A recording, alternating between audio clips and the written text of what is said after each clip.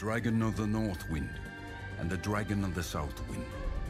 Together, they upheld balance and harmony in the heavens.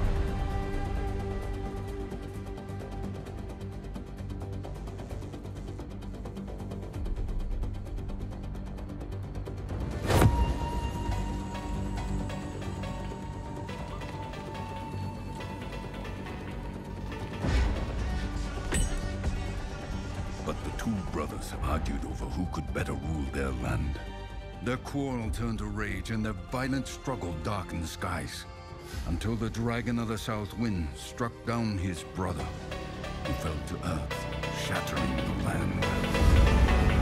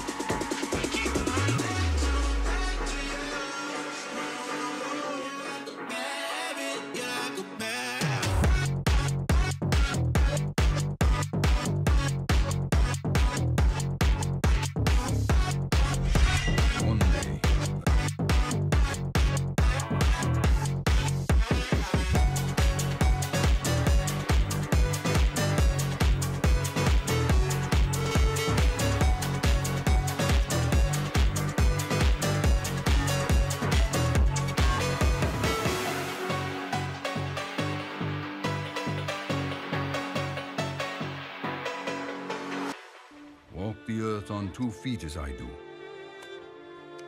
Find value in humility.